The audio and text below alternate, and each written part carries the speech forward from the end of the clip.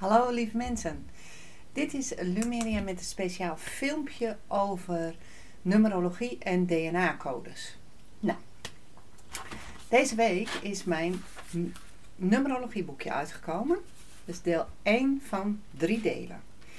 En waarom doe ik dat in drie delen? Zodat we langzaam kunnen opbouwen en het leuke kleine betaalbare boekjes worden. Maar vooral ook leuk omdat je ze heel handig mee kan nemen. Ik heb begrepen dat mensen dat leuk vinden.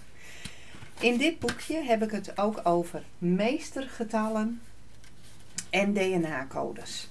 En afgelopen week heb ik jullie ook al verteld over de mystieke scholen en hoe je dan ehm, eh, boodschappen en lessen ontvangt. Dat filmpje kan je altijd nog even nakijken. Dat is het filmpje van vrijdag 23 april. Uh, ik heb van uh, een aantal mensen begrepen dat zij in de nacht wakker zijn geworden en bepaalde cijfercodes zien. Maar ook de cijfercodes 23, 23, 22, 22, 111, 222, 333, maar ook alles wat er tussenin ligt. Dat zijn uh, waardes die je dan ziet en waar jouw lichaam iets mee kan doen, zodat jouw ziel zich ontwikkelt. Ja, dat dus. Dus wat gaat er gebeuren op het moment dat jij bepaalde cijfers ziet? Dan krijgt jouw DNA eigenlijk een reminder van hey, het is tijd voor deze les. Of het is tijd om. Eigenlijk gaat er dan een deurtje open waar kennis uitstroomt. Wij hebben alle kennis hebben wij al in ons DNA. Dat is de toegang tot de Akasha bibliotheek, waar wij een kluis hebben, net als in Harry Potter. Hè? Uh, hebben wij een kluis waarin al onze ervaringen, geleerde lessen, belevenissen, alles hebben we daarop geslagen. Maar als wij hier in uh, dit leven, in het hier en nu, al die mogelijkheden en uh, toegang krijgen tot al onze geleerde lessen en herinneringen, dan overweldigt dat. Dat, dat kan niet. Dat kan ons lichaam niet aan. En dan zien wij door de bomen het bos niet meer. Dus dat is heel ingenieus bedacht. Op het moment dat jij in jouw leven verandert, dan verandert ook jouw DNA. Daarom is het dus ook zo belangrijk dat je dat DNA zo koestert, dat dat zo zuiver mogelijk blijft. Dus geen dingen gaan doen wat jouw DNA beïnvloedt. En op het moment dat je, uh, dat is net als uh, uh, op school of nu met een cursus, je leert een bepaalde vaardigheid dan krijg je daar ook een. Uh, uh, dan krijg je nieuwe mogelijkheden. Als jij leert hoe jij jezelf in het licht kan zetten, dan heb je een vaardigheid geleerd waardoor jouw DNA verrijkt wordt. Wanneer er nieuwe stukjes uit jouw DNA geactiveerd worden. Maar dat is en het maakt dus niks uit hè, of je nou iets spiritueels doet of je gaat uh, economie studeren terwijl je altijd metselaar was. Het gaat erom dat je iets nieuws doet. Je gaat iets leren. Uh, jaren terug heb ik het motorrijbewijs gehaald. Dan ga je iets leren waardoor je dus een nieuwe ontwikkeling doormaakt. Waardoor er nieuwe DNA-codes open gaan staan. Dus het maakt niet uit op wat voor gebied. Het kan een taal zijn, het kan een vaardigheid zijn, handwerkend zijn. Ik heb hier een hele mooie beer, heb ik hier. Nou, misschien ga ik wel leren hoe ik ook zulke mooie beren kan maken. Deze heb ik een keer gekregen van twee hele lieve dames. Ja, je gaat er lang mee, hè. En die zit net als Harry de Motormuis. Zit hij altijd gezellig, zo bij mij. nou, uh, maar ook gewoon creatieve dingen. Uh, hele uh, mooie dingen om te leren. Het maakt niet uit, als je maar ontwikkelt. En op een gegeven moment, dan ga je een tijd langs, kom jij bepaalde getallen tegen. En dat is dus handig dat je dat opschrijft. Daarom heb ik in het numerologieboekje ook notitie. Een kleine notitiebladzijden. Uh, maar stel je voor, jij komt het getal 44 tegen. En 44, dat kom je in kentekens tegen. Of je rijdt langs huizen, langs straten, je bent lekker aan het fietsen. En elke keer valt jou het huis nummer 4 of 14 of 44 op. Of 13. 13. Wat heeft 13 er nou mee te maken? 1 plus 3 is 4. De tijdcode die bij 44 hoort, staat dus in mijn boekje, is 13, 13, 13 minuten over 13. En in een kwartsklokje kan je dat heel mooi kijken. Dus op het moment dat je die 1313 ziet, of op jou, ik zie 1254 nu, maar als je bijvoorbeeld 1313 ziet, dan is het tijd voor een nieuw begin. Als jij in je leven de beslissingen kan nemen, dan zal je de werkzaamheden op je pad krijgen. Dit zijn de acties die je stimuleren om aan de slag te gaan.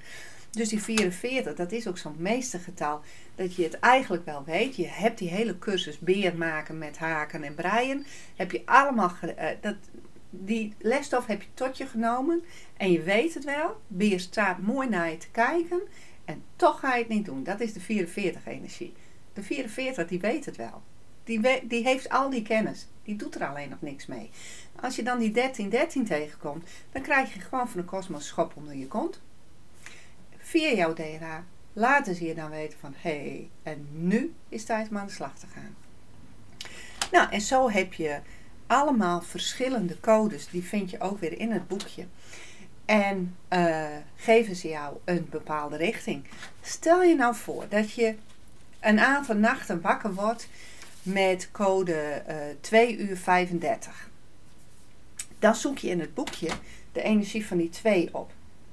En het is 2 dubbele punt 35. Dus dan zoek je de 2 op en een 35 op. Zullen we dat eens doen?